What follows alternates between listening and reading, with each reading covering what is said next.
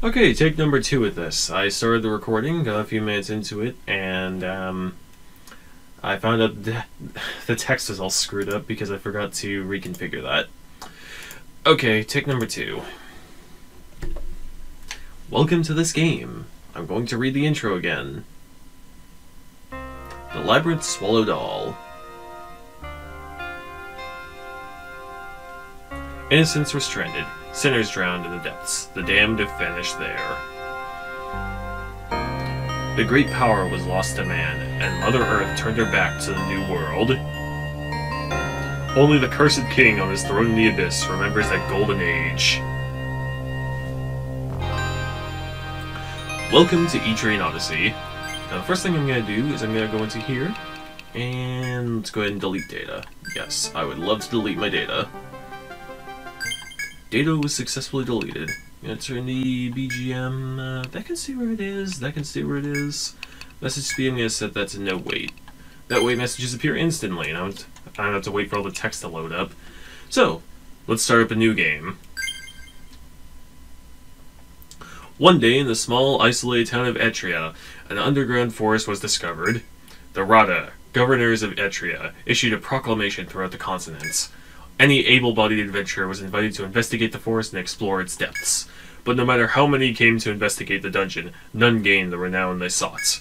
As more adventurers tried and failed to conquer it, it came to be known by a new name, the Yggdrasil Labyrinth. You are the latest adventurer to journey to Etria in response to Rada's proclamation. You have but one goal, explore the forest to win fame and fortune. Etria is at hand. Town of Etria, the Verda Plaza. So yeah, at the start of the game, the only place you have access to is the Explorers Guild. So let's go there! Yay! Haven't seen you before. I take it you've come to check out the Yggdrasil Labyrinth? Then welcome, friend. Not many guilds lately are admitting new adventurers. Those short-sighted losers care too much about trifles to do any real investigation. If you've got the guts, you should make a guild entirely for newcomers. There are loads of guys just sitting on their thumbs who'd join any guild that'd take them. How about it? Gonna make a guild? Oh, heck yeah. Great, let's get started. Write what you want to call your guild in this ledger. Someday the world will know this name, so think carefully before choosing it. Now, I was gonna originally go with the name of Hot Longs, because Kenshi, but I'm gonna go with something a little bit different, something that makes a bit more sense to me. Kindred. No, not a reference to Monster Hunter 4. Just Kindred because it's a name I happen to like. Kindred, huh? Not a bad name. Heck yeah, it's not. Now that you've got a guild, you'll need adventurers to fill it. Of course, you can go into the labyrinth yourself, and I intend to do so. If you've got the stones, register your own name as a, as a member. More adventurers means more options open to you, and less of a chance of dying down there. Think about it for a while, and make sure you register a variety of classes into your guild. Yes, that is extremely important in this game. Alright, let's register a new person. First up, we have myself. Cubix. And I'm the Protector. I protect people. Let's go ahead and register another adventure. Next up, we have Venti. A very close person to me. They are going to be a Landsknecht, and we're going to go with that portraits. Yes, register another adventurer. Next up, we have Coastal. Also known as Ivy, she has helped me out with Pokemon Black, as well as Monster Hunter, as well as Wind Waker, and a failed Let's Play of Yoshi's Island that we tried back in 2019. Maybe we'll get back to that someday. But anyway, Ivy, she is the medic, and we're gonna go with... Hmm... Let's go with that portrait for her. Next up, we have Jazzcats. Also known as Rose, but she has not helped me out in many of my Let's Plays. Most she has done is appeared right at the end of the Wind Waker Let's Play while the credits were rolling, and then I had to leave and go do dishes while I finished up that video. She is going to be the Troubadour, and we're gonna go with that portrait. And the last person, last but certainly certainly not least, we have 98. No, not some alter ego of mine. no, 98 is a very special person to me as well. But in a different way from Venti. They will be the survivalists with that portraits. They will be the ones saving our asses on multiple occasions. Register another adventure? Nah, not right now. We're gonna need to do that again later for some side quests, but for right now, we'll just stick with this game. Alright, so we're gonna go with Cubix and Venti on the front, Coastal, Chazcat, and 98 on the back. And now, we're gonna open up our menu and go into Custom. In the Custom menu, you can spend skill points to learn new skills. In this game, for each level you gain, you earn only one skill point. Use them wisely, either to strengthen, strengthen existing skills or learn new ones. Alright, so for myself, I'm gonna learn shields, get front and back guard. Then, I'm gonna be building a front guard first. So yeah, with the Protector, I'm gonna be building a Defender. This is pretty much the best skill in the entire game for the, um, for the Protector. Defender and Protector, kind of kind of weird saying those two words in the same sentence. I'm getting confused here. But anyway. For Venti, they will be getting, um, two swords for now. Cleaver, but I'm not gonna bother with that skill. Yeah, I'm gonna be getting swords and axes up to level 5 to get 2 hit, and then once you have 2 hit and swords at level 5, well, 2 hit at level 3 and then swords at level 5, you gain access to the All Slash skill. Yeah, uh, is gonna be of not great use until level 12, unfortunately. Coastal will be getting Healer. Cure is now available. You'll learn one level in Cure. Another level in Healer. Patch Up is now available. Completely useless. You heal up to 25% of your maximum health after a battle completely useless. A waste of 10 skill points out of the 72 you will be getting in this game. Potentially 78. Okay, Chazcat is going to be getting songs for Bravery, Shelter, and Mercury. We're gonna level up Bravery. This needs to be at level 10. It is at level 2.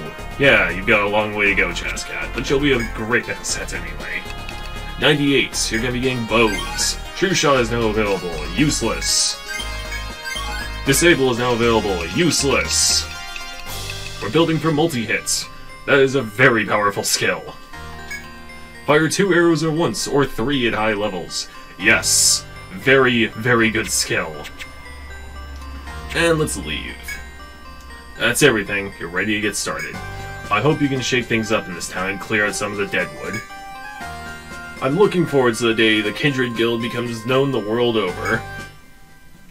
Alright. Now we're gonna go to Shilleka's Guilds. I think the Guildmaster will be about the only character that I voice. Uh-huh. Uh, well, uh, we're the newest guild like that. I'm sure there are plenty of guilds like that, but we're the newest one. Cool. Alright, so let's go ahead and buy some stuff. Uh, I'm gonna buy a wood bow. I'm actually gonna buy two of those. Let's see here. The rest of this stuff is just worthless. Is just worthless garbage. Uh, let's see here. I'm gonna buy a Targe for Cubix. And five leaf boots. You're gonna need these. Buy a knit glove as well. And let's go ahead and equip those. In the equip menu, you can change. You can adjust the party member's equipment. Some classes require particular weapons to use some of their skills. Be mindful of this. This only applies to the Landsknecht and the Dark Hunter. Equip the and Cubix, and a Leaf Boot. Venti is going to get a Knit Glove and a Leaf Boot. Everybody else just gets a Leaf Boot. They're on the back, they don't need any extra defense. Alright. Oh, right. Almost forgot to equip a wood bow both people. There we go. Now Coastal, rather than that wand, you get a knife. Yeah, her attacks are still shit even from the back row, but they're a little bit less uh, awful with that knife equipped. And let's sell the knife. And the wand. You don't have a thing to sell me. And, um, let's see here. Up next is Rada Hall. Now, if I had some, if I had Venti with me to commentate, then I'd probably have them voice this guy. Got that right. Well, that just makes sense. It's like applying for your license. You can't just let anybody drive on the road, although we pretty much do anyway. Sure thing.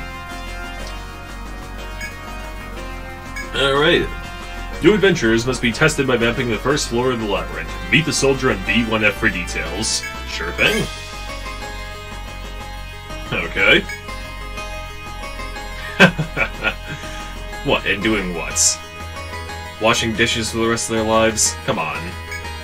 We're adventurers, not kitchen folk. Alright. Cool, thank you. Alright. Okay, now before we go into the labyrinth, there's something extremely important that needs to be done first. Now, when I first played Etrian Odyssey, I thought this guy was a girl. And in Millennium Girl, he has a uh, he has a male voice, which pretty much well, actually that might not mean anything at all. I'm just being stupid, being being dumb. That's all. Well, not like I really have a choice in the matter. Where will where else am I gonna sleep in the stable? That was a reference that almost nobody will get. Yeah, your first save is always going to take a long time. I promise that saves after this will be really quick. Save successful. Well, of course it was. I'm not cheating right now. Go to the forest entrance. The brink of the maze, the forest entrance. And let's enter. First stratum, Emerald Grove. The first hope-filled step, and in my opinion the last one. You'll soon be discovering why.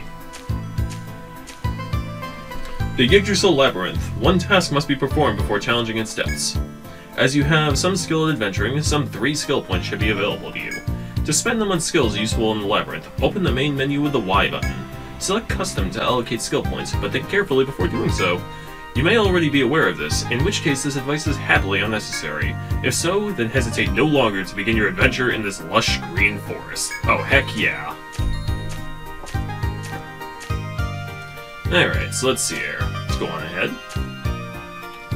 As you walk the narrow path, greenery all around, you see a soldier standing guard. Well, thanks for the warm welcome. A few questions for the soldier spring to mind but you wonder if you shouldn't let him be. Well, what are you doing here? The soldier answers your question slowly. Was he an ant? Hmm, okay. That's what I'm here to do.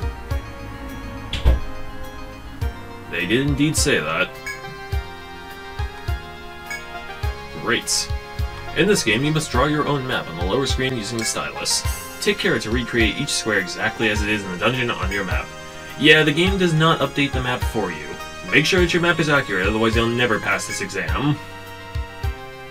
Yeah, yeah, yeah. Oh yes I do. I've finished this game like three times.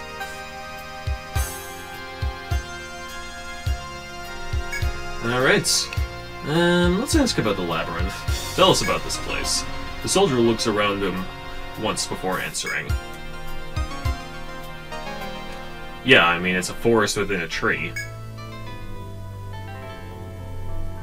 Mm-hmm. Usually you don't find forests underground, unless you're playing Minecraft. Oh, is that so, huh? Of course. This place is dangerous.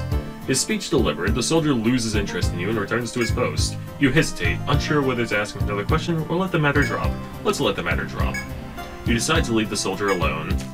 Alright, let's get this adventure underway. Let's open up the party map here. And now we can draw the map. Uh, I'm clicking with a mouse. You will not do so if you are playing this on an actual DS. And we finally get into combat with a mole. Yeah, there's not really much you can do this early in the game. Oh, that hurt a lot less than I thought it would. I thought that would do about 9 damage that went about as good as it possibly could have. I'm surprised that mole did not get the first strike. Oh, pressing the wrong button. So let's map it like this, and here we go. Corner, and there is nothing at this dead end. Oh well, go back. Around this. Alright, let's press on. Another encounter. This time with another single mole. Same strategy as before. That is, there's no strategy at all. See, that's the damage I was expecting. oh man, Venti, I think these moles have an affinity for you. You got a new item, Beast Bone. Yeah, uh, that's the thing about this game. You do not get... Why am I trying to... You know why? Because my medic is usually in that slot. But anyway, thing about this game is that monsters do do not drop money for you. They drop items. And you can sell those items to not only unlock further um, consumables, weapons, armor, and accessories, but you can also, um, you also make some money off of those. Oh, uh, this might pose a problem. Okay, well let's just see what happens. Okay, one's down. That'll make this a lot more manageable. Alright. I get this. Uh, actually, let's distribute it more like this. There we go. Good. Funnily enough, that's actually what the, uh, what I'm going to be using for the thumbnail. Those wood flies there. It took me quite a long time to actually draw one of those, partly because I have basically zero artistic talent. As you continue into the forest, you reach a clearing. Squarish boxes are lined up before you. It's possible they were left by fellow explorers in the labyrinth. Then, too, they may be parts of the treasure rumored to litter the labyrinth. The boxes sit ready to be opened, offering no clues to their nature. Well, let's open them up. This is a D&D, there won't be medics, you'll be fine. Uh, mimics. Mimics, not medics. Damn it. Malpropisms, am I right? Alright, let's see here. We got a treasure box right here, treasure box right here, treasure box right here, and I mismapped again. There we go. Oh, and I should heal Cubix as well with Coastal, which I already did, subconsciously. Scramasax, which Venti calls dibs on. Now Venti hits just a little bit harder. A medkit too, not terribly useful, but it's worth a fair amount. And 200 Ental, good stuff. Oh, shoot. Um... Okay, uh... Run. Come on. Yes! I can always count on you, 98. Okay, um, I'll be going into some details about that claw bug. Um, very high physical defense, and it hits like a goddamn truck. And they have a lot of health. You'd be lucky to deal more than 3 damage a hit against it. You're looking at at least 2 or 3 rounds of combat with it. During that time, you'll probably hit one of your characters for about 20 to 25 damage, potentially one-shotting a level 1 character. Yeah, trying to fight that thing at level 1, I mean, without an alchemist, it's suicide. Don't even try it. If you have an alchemist, they can use elemental magic, and that'll pretty much one-shot the claw bug. Fire magic especially will deal something like 50 damage. Anyway, so we're at this thing right now. Now this is why I ventured into the labyrinth at night. While walking through the narrow trail, you find a trickle of water near the end. The cool... The clear, cool water seems extremely tempting after your arduous hike. Arduous indeed. You hesitate, unsure whether to slake your thirst or to pass by the water. Take a sip of the water, of course. Cupping, the, cupping your hands in the, in the stream, you bring a sip of water to your lips. The clear, cold water quenches your thirst. The party recovered 10 tech points. Feeling much better after drinking the spring water, you decide to move on. Alright. So yeah, that is a very, very important thing, because now I can stay in the labyrinth as long as I want. Now ordinarily, I'd use this spot to grind a little bit, but since I'm recording right now, I'm not going to do that. I don't want to be wasting anybody's time grinding, and I don't feel like editing all that off screen. Alright, here's an encounter that's not too bad. Tree rats are pretty pitifully weak. And the wood flies Sometimes they'll use a move where they just try to bind somebody's head, and it's so slow that they'll almost certainly last. Oh, and wood, uh, tree rats will occasionally try to run away from battle. But the attack missed. There we go. Nicely done, Chazcat. Level up. So yes, as the tutorial text said, everybody gains a skill point for leveling up. For myself, that's going to be Gwen's front guard. Betsy is going to gain another rank in Swords. Coastal will gain another rank in Healer. Cure 2 and Unbind are now available. Yeah, Cure 2, not gonna bother with it. I don't like it. Uh, Chazka is gonna gain another rank in Bravery, and 98 will gain another rank in Bows. Yeah, so for right now, there's not really a whole lot that I can gain with regards to skills. Yeah, so up until probably level 4 or 5, battles are going to be, are going to be very monotonous and repetitive. Hey, what's this thing? A mysterious crystal entwined with ivy blocks your path. It seems you cannot proceed. Alright, well, let's put a on there, and let's put a memo for it. Locked. Okay, let's go on. There we go. You discovered a new item, Small Fang, and a tiny petal. Good stuff. Chop spot, huh? I do not have anybody that can chop wood. Ever, I'll be getting into that later. So putting an item point there, and a memo so that I know how to chop here. Because if you try to chop normally... Oh. Right. I kinda just spoiled it, but anyway, yeah, there's a secret passage right there. Sorry about that, I've played this so many times, just kinda subconsciously... Yeah. Alright, so let's try and chop here. The party hasn't the necessary skill to cut wood here. Yeah, if you don't know how to handle an axe, you'll probably slip out of your hand while you're fumbling around, and it'll cut you, and you'll really start bleeding. Oh, great. Oh, goodness. This is a bad thing. Uh, let's see here. Cure on Cubix. Uh, bravery. And you can just attack. Alright, good thing I used that cure spell on Cubix. There we go. It's one down.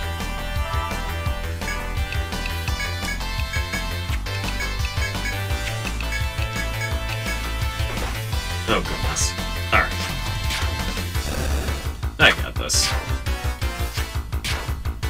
Yeah, the early game is, is just brutal, if that wasn't blatantly obvious.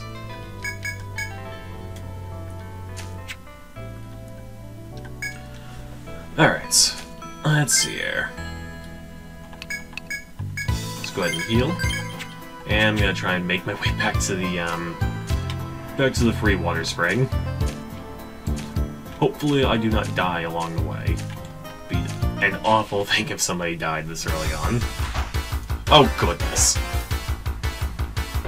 Blindside. Great.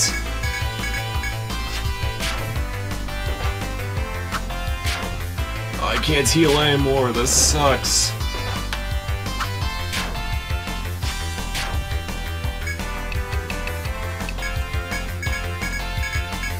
Run away, you tree rat. Okay, I guess that can happen too, that's also good. Whew, okay, close call.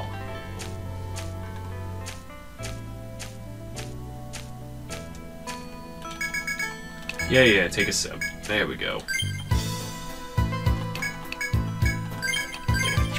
There we go. Now, in the remake of Etrian Odyssey, that is um, Millennium Girl, you couldn't do that. You could only use the spring once each day, and it would heal 35 HP and 10 CP. Still, it was fine. You didn't have... The early game wasn't as mega brutal in that game as it is in this, so... Alright. I'm level 2 now, so these guys should be not as brutal. Okay, maybe they still are. Particularly when I miss.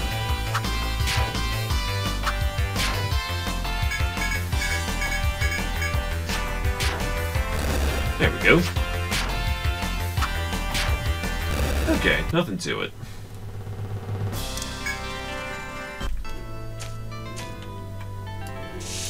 I believe it just kind of goes like that.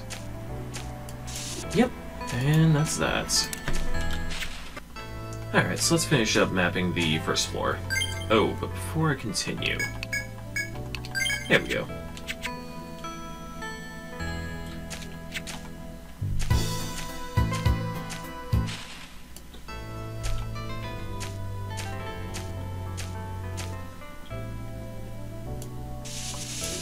So here we are. We are at another event, and before I trigger this event, I'm going to select Coastal to use a Cure spell. And let's interact with it. While walking through the forest, you find something furry at the trail's end. Initially thinking it a creature, you lower your guard upon realizing it's a boot. Could have belonged to an adventurer. You weigh the options of picking up the dirty boot or leaving it where it lies. Let's look around. You thoroughly inspect the area around the boot. A close look reveals torn clothes and reddish stains on the ground. Signs point to dangerous beasts lurking nearby. Eyeing the boot, you wonder you wonder whether picking up is worth whatever danger is in store. Uh, I think it will be, actually. Let's pick up the boot. You gingerly pick up the dirty boot. It's rather heavy, due to the ivory-colored stones its previous owner had inside. Picked up white stone. Nice. As you marvel at the stones, the ground begins to shift unnaturally. The dreadful monsters who likely killed the boot's owner ambush you. Think there should have been a couple of combos in there. Okay, three moles. We've done this encounter before. This shouldn't be a problem. Unless they all decide to target one person, which is entirely a possibility. Okay, I got this. Yeah, no problem.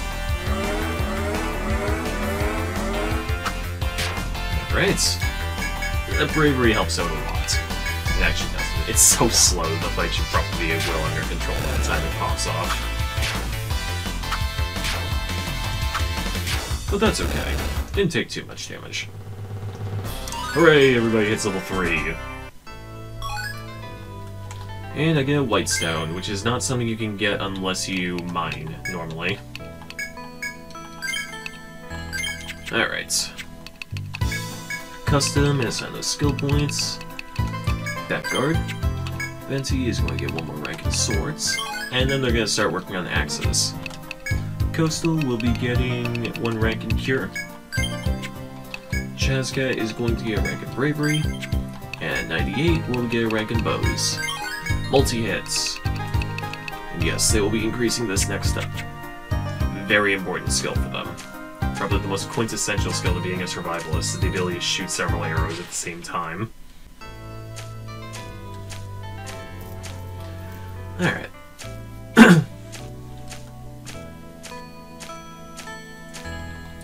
Okay, so let's get back down to this event tile here.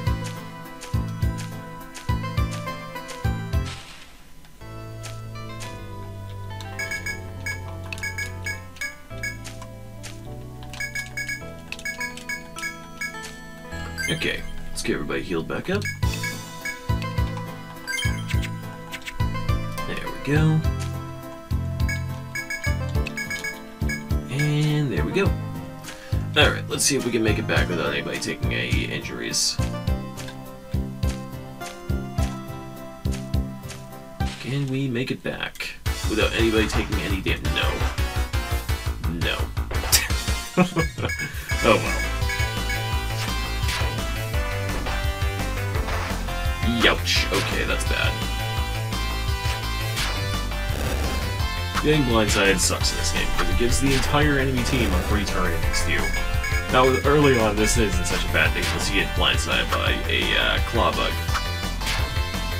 But later on, getting blindsided could pretty much kill you. Alright. Almost back. We are nearly back. Alright. And back up the stairs. We are back in Etria. Let's go ahead and sell off all this junk we collected. Uh, sell off the too. Why not? The knife, sell off the white stone, beast bones, bone staff, small fangs, we get the dagger, but that's useless. Soft hides, hide ring, useless. Alright, so let's rest up at the Rooster Inn. Sleep. Amazing, we slept for a whole four hours. Save the game.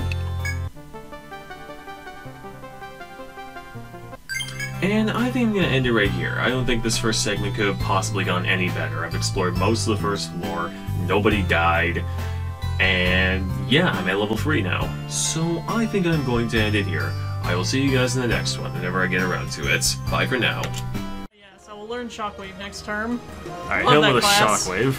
Unleashed energy, but it failed. Why did it fail though? It took damage twice.